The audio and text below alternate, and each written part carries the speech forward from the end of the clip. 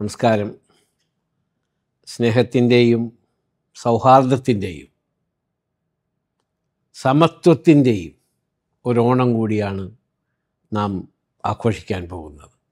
ഈ ഓണം മലയാളികളുടെ മാത്രം ഉത്സവമല്ല കേരളത്തിന്റെ മാത്രം ഉത്സവമല്ല ഇന്ത്യയുടെ ദേശീയ ഉത്സവമാണ്.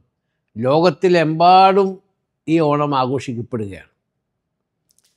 ഇവിടെ ഗൾഫ് നാടുകളെ സംബന്ധിച്ചിടത്തോളം പ്രവാസികൾ എല്ലാ മതവിഭാഗങ്ങളിൽപ്പെട്ടവരും ഒരുമിച്ചിരുന്ന് അറബി സഹോദരന്മാരെ കൂട്ടി മറ്റ് ലോകത്തിന്റെ പല ഭാഗങ്ങളിൽ നിന്ന് വരുന്ന പല രാജ്യങ്ങളിൽ നിന്ന് വരുന്ന സഹോദരന്മാരെയും സഹോദരികളെയും കൂട്ടി ഒരുമിച്ചിരുന്ന് ഓണം ഉണ്ണുന്ന സന്തോഷകരമായൊരവസ്ഥയാണ് ഗൾഫിലുള്ളത്.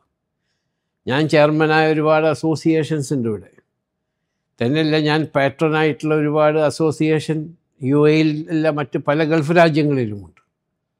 അവിടെയൊക്കെ കാണുന്നത് ഈ സാഹോദര്യവും ഈ സ്നേഹവുമാണ്. ഞാൻ പ്രവാസികളെ പറ്റി പറയുമ്പോൾ ആദ്യം ഗൾഫിനെ പറ്റിയാണ് പറയുന്നത്. കാരണം ഗൾഫിലുള്ള പ്രവാസികൾ നാട്ടിലേക്ക് മടങ്ങിപ്പോകേണ്ടവരാണ്.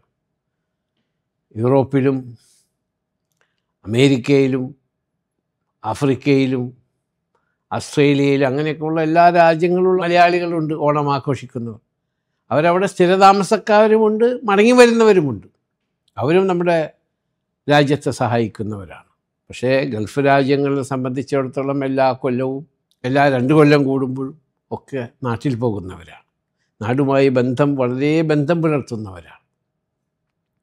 ആ സ്നേഹവും സാഹോദര്യവുമാണ് ഈ അറബ് രാജ്യത്ത് അവർ പ്രകടിപ്പിക്കുന്നതും ഒരുമിച്ചിരുന്ന് ഓണമുണ്ണുന്നു അത് ഈ ഇസ്ലാമിക രാജ്യങ്ങളുടെ വിശാല കാഴ്ചപ്പാട് കൂടിയാണ്.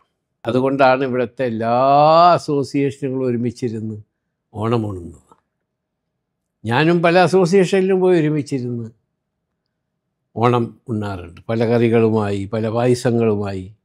ചെറുപ്പം മുതൽ തന്നെ ഞാനത് കണ്ട് വളർന്ന് ശീലിച്ചവനാണ്. ഈ മഹത്തായ ഈ സ്നേഹത്തിന്റെയും സാഹോദര്യത്തിന്റെയും സമത്വത്തിന്റെയും അതിലുപരി മതസൗഹാർദ്ദത്തിന്റെയും ഒരു ഉത്സവമാണ് ഓണം.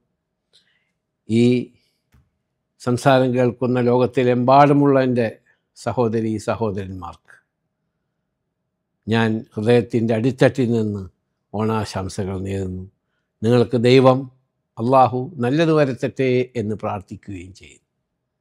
നിങ്ങൾക്കും നിങ്ങളുടെ കുടുംബത്തിനും നിങ്ങളുടെ വരും തലമുറയ്ക്കും ഇനി വരാൻ പോകുന്ന തലമുറയ്ക്കും ദൈവത്തിന്റെ എല്ലാ കാരുണ്യവും അനുഗ്രഹവും ഉണ്ടാകട്ടെ എന്ന് വീണ്ടും പ്രാർത്ഥിക്കുകയാണ്. ഓണാശംസകൾ.